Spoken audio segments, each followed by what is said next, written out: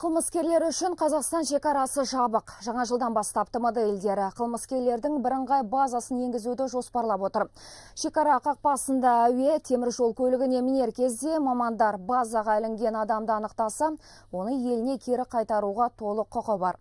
Бұл тәртіп әсіресе педофилдерге қолданылады. Бұл жөнінде бүгін халықаралық форум барысында еліміздің бас прокурорының орынбасары Андрей Кравченко мәліметті.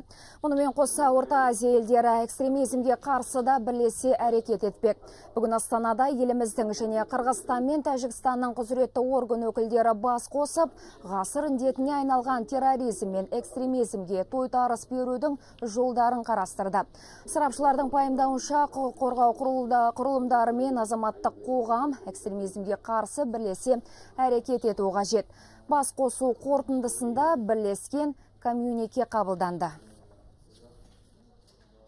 қоғам болып ел болып әрбір азамат болып біздің анау діни басқармалар бар тиісті құзырлы органдар бар түсініктеме беріп идеологиялық жұмыс сондықтан біз әрбір азаматымыз үшін күрес жүргізуіміз керек. Соның сана сезімі үшін соның дүниетанымы үшін соны түсіндіруіміз үшін ол шаршамай соны жұмыс істесек біз ойлаймыз нәтижеге жетеміз. И одан да ешқандай күмән болмау керек. Біз жеңеміз и жетеміз.